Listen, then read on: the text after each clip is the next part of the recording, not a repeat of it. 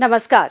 Himachal bulletin में आपका स्वागत है। पेश हैं आज के समाचार। मुख्यमंत्री श्री जयराम ठाकुर की अध्यक्षता में आज शिमला में आयोजित प्रदेश मंत्रिमंडल की बैठक में राज्य के लगभग एक लाख तिहत्तर हज़ार पेंशन भोगियों को एक फरवरी 2022 से संशोधित पेंशन व परिवार पेंशन प्रदान करने का निर्णय लिया गया। मंत्रिमंडल के इस निर्णय से एक लाख तीस हज़ार पेंशन भोगियों और परिवार पेंशन भोगियों को एक जनवरी दो हज़ार सोलह से संशोधित पेंशन व परिवार पेंशन सुनिश्चित होगी। इसके अतिरिक्त एक जनवरी जनवरी 2016 से 31 दिसंबर 2021 के मध्य सेवानिवृत्त हुए लगभग तैतालीस हज़ार कर्मचारियों को संशोधित पेंशन और ग्रेचुटी भी मिलेगी।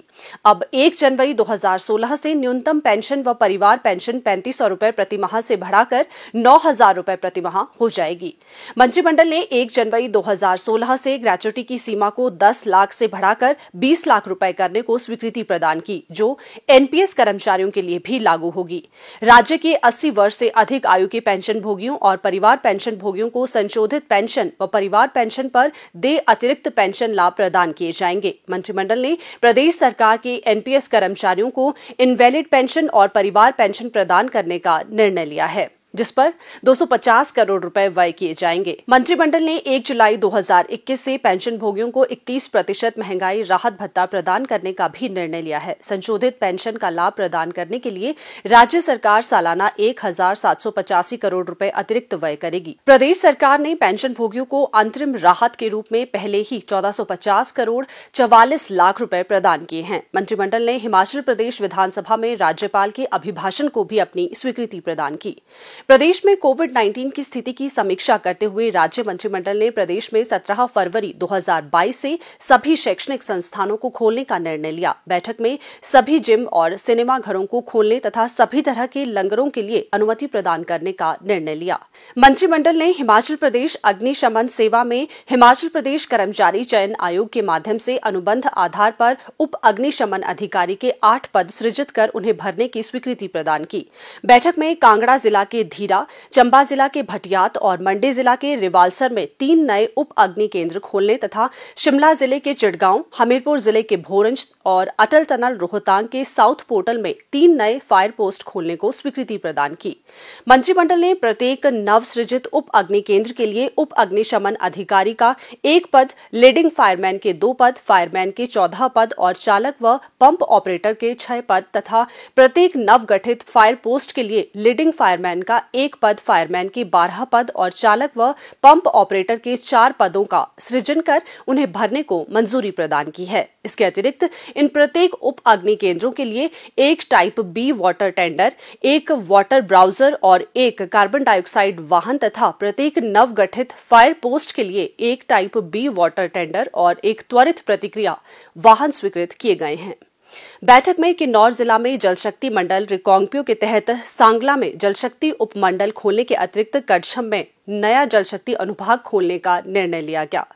इन कार्यालयों के सुचारू संचालन के लिए विभिन्न श्रेणियों के चार पदों का सृजन कर उन्हें भरने को स्वीकृति प्रदान की गई। मंत्रिमंडल ने जिला कुल्लू के मनाली विधानसभा क्षेत्र के कटराई में जलशक्ति मंडल तथा बंजार विधानसभा क्षेत्र के बजौरा में जलशक्ति उपमंडल खोलने तथा इस मंडल के तहत नए अनुभाग के सृजन और इस कार्यालय के संचालन के लिए विभिन्न श्रेणियों के 21 पदों के सृजन को मंजूरी दी। बैठक में जल शक्ति मंडल नंबर दो कुल्लू को कर्मचारियों सहित शमशी से लार्जी स्थानांतरित करने का भी निर्णय लिया गया। बैठक में जिला सोलन के चंडी में लोक निर्माण विभाग के उपमंडल को खोलने तथा विभिन्न श्रेणियों के सात पदों को सृजित कर भरने को भी स्वीकृति प्रदान की गई है। बैठक में जिला लाहौल स्पीति के उदयपुर में सामुदायिक स्वास्थ्य केंद्र को नागरिक अस्पताल में सरोन्नत करने का निर्णय लिया गया। बैठक में जिला मंडी में प्राथमिक स्वास्थ्य केंद्र चोलथरा, सजाओ तथा छोलगढ़ को सामुदायिक स्वास्थ्य केंद्रों में स्तरोन्नत करने का निर्णय लिया गया तथा इन केंद्रों के संचालन के लिए विभिन्न श्रेणी के सोलह पदों को सृजित कर भरने का निर्णय लिया गया। मंत्रिमंडल ने जिला मंडी के बकराता दरपा में प्राथमिक स्वास्थ्य केंद्र खोलने की स्वीकृति प्रदान की गई तथा इस केंद्र के संचालन के लिए विभिन्न श्रेणियों के तीन पदों को सृजित कर भरने का निर्णय लिया गया। बैठक में जिला लाहौल स्पीति के सामुदायिक स्वास्थ्य केंद्र काजा को नागरिक अस्पताल में सरोन्नत करने तथा किमो में स्वास्थ्य उपकेंद्र खोलने का निर्णय लिया गया। मंत्रिमंडल ने त्वरित देखभाल की आवश्यकता वाले मरीजों को निशुल्क परिवहन सेवा प्रदान करने के लिए राष्ट्रीय एंबुलेंस सेवा 108 के तहत 50 अतिरिक्त एंबुलेंस खरीदने तथा संचालन को मंजूरी प्रदान की। बैठक में जिला लाहौल स्पीति के त्रिलोकनाथ में राजकीय वरिष्ठ माध्यमिक पाठशाला में विज्ञान कक्षाएँ आरंभ करने तथा अनुबंध आधार पर व्याख्याता के तीन पदों को सृजित कर भरने का निर्णय लिया गया।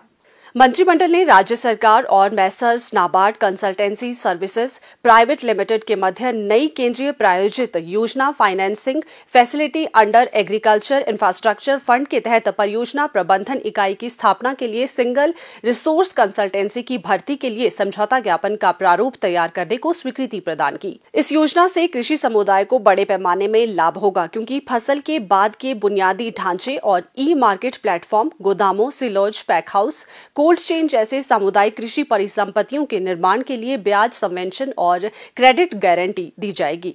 बैठक में मंडी में नया राज्य विश्वविद्यालय स्थापित करने के लिए सरदार पटेल विश्वविद्यालय मंडी, हिमाचल प्रदेश स्थापना और विनियम अधिनियम 2022 को 1 अप्रैल 2022 से अधिसूचित करने का निर्णय लिया। मंत्रिमंडल ने ऊना जिला के जीतपुर बहेड़ी में आईजी इथेनॉल प्लांट स्थापित करने के लिए हिंदुस्तान पेट्रोलियम कॉरपोरेशन को एक रुपया प्रति वर्ग मीटर पट्टा दर पर भूमि आवंटित करने को अनुमति प्रदान की। बैठक में कांगड़ा जिला की तहसील नूरपुर के सदवा में उप तहसील खोलने को अनुमति प्रदान की।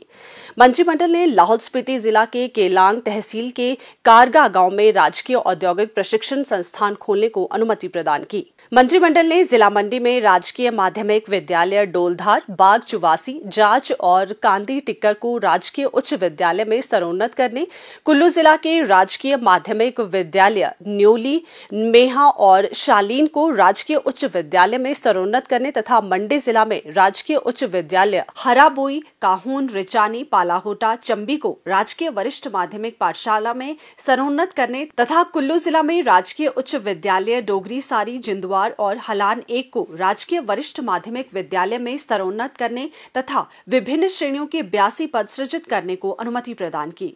मंत्रिमंडल ने बिलासपुर जिला के घंडालवी में डिग्री कॉलेज खोलने का निर्णय लिया। स्वास्थ्य एवं परिवार कल्याण विभाग द्वारा दोपहर दो बजे जारी बुलेटिन के अनुसार प्रदेश में कोरोना संक्रमण की जाँच के लिए आज 314 लोगों के सैंपल लिए गए, जिनमें से 28 लोगों की रिपोर्ट नेगेटिव पाई गई है, जबकि 280 लोगों की रिपोर्ट आना बाकी है।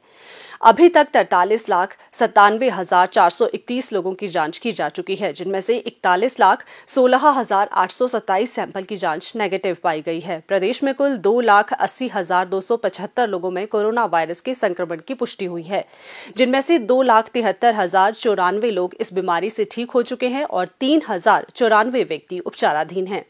हिमाचल बुलेटिन देखने के लिए सब्सक्राइब करें YouTube channel IPR Himachal, follow करें ट्विटर एट डीपीआर लाइक करें Facebook page information and public relation department Himachal Pradesh. Visit करें वेबसाइट www.himachalpr.gov.in इस अंक में इतना ही, कल फिर होगी मुलाकात। दीजिए इजाज़त। नमस्कार।